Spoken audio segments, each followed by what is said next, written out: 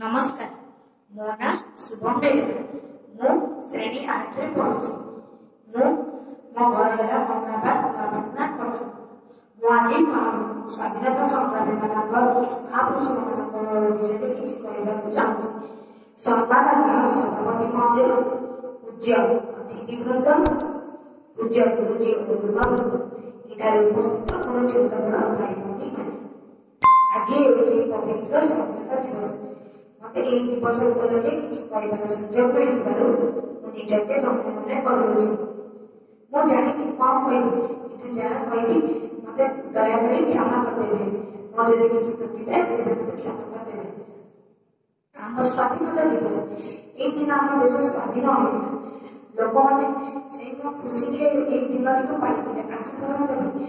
ଲୋକମାନେ ଏହି ଦିନ ଖୁସିରେ ଚଳୁଛନ୍ତି ଓ ସୁଖ ପ୍ରଦାନ ପାଉଛନ୍ତି ଯେତେବେଳେ ପ୍ରଥମ ଥର ଇଂରେଜ ବଣିକମାନେ ଜାହାଙ୍ଗୀରଙ୍କଠାରେ ଅନୁମତି ନେଇ ଭାରତକୁ ପ୍ରବେଶ କଲେ ସେ ଷୋଳଶହ ମସିହାରେ ଏକ ଇଷ୍ଟ ଇଣ୍ଡିଆ ନାମକ ଏକ କମ୍ପାନୀ ନିର୍ମାଣ କରିଥିଲେ ତାଙ୍କର କେବଳ ଉଦ୍ଦେଶ୍ୟ ଥିଲା ଯେ ସେ ବ୍ୟବସାୟ କରିବେ ଓ ତାଙ୍କର ଚିନ୍ତାଧାରା ଥିଲା ଯେ ସେ କିପରି ଆମ ଦେଶରୁ ଧନରତ୍ନ ଚୋରି କରି ତାଙ୍କ ଦେଶକୁ ନେଇଯିବେ ସେ ପ୍ରଥମ ସୁରକ୍ଷା ତାଙ୍କର ବାଣିଜ୍ୟ କୋଟିମାନ ନିର୍ମାଣ କରୁଥିଲେ ସେ ଦେଖିଲେ ଯେ ଆମ ଦେଶରେ କାହାରି ମଧ୍ୟରେ ଏକତା ନଥିଲା କୌଣସି ରାଜାଙ୍କ ମଧ୍ୟରେ ଏକତା ହିଁ ନଥିଲା ତେଣୁ ସେ ଚାହୁଁନଥିଲେ ଯେ ଏହି ସୁବର୍ଣ୍ଣ ସୁଯୋଗଟିକୁ ହାତଛଡ଼ା କରିବାକୁ ତେଣୁ ସେମାନେ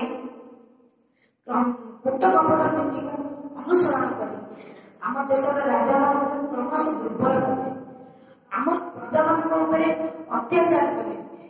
ସେଥିପାଇଁ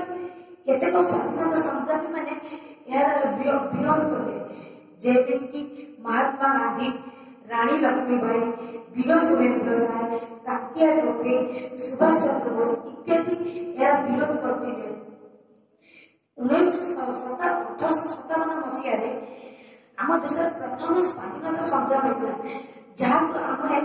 ଜାଣୁ ସିପାହୀ ବିଦ୍ରୋହ ବୋଲି ଗାନ୍ଧିଜୀ ଉଣେଇଶ ଉଣେଇଶହ କୋଡ଼ିଏ ମସିହାରେ ଅସହଯୋଗ ଆନ୍ଦୋଳନ ଇଂରେଜମାନଙ୍କ ବିରୁଦ୍ଧରେ କରିଥିଲେ ଉଣେଇଶହ ବୟାଳିଶ ମସିହାରେ ଭାରତ ଛାଡ଼ ଆନ୍ଦୋଳନ ଇଂରେଜମାନଙ୍କ ବିରୁଦ୍ଧରେ କରିଥିଲେ ଏହାକୁ ଡରି ଇଂରେଜମାନେ ଆମ ଭାରତକୁ ଛାଡ଼ି ଦେଇଥିଲେ ଇଂରେଜମାନେ ଆମ ଭାରତକୁ ଛାଡ଼ି ଦେଇଥିଲେ ସେହି ଦିନଠାରୁ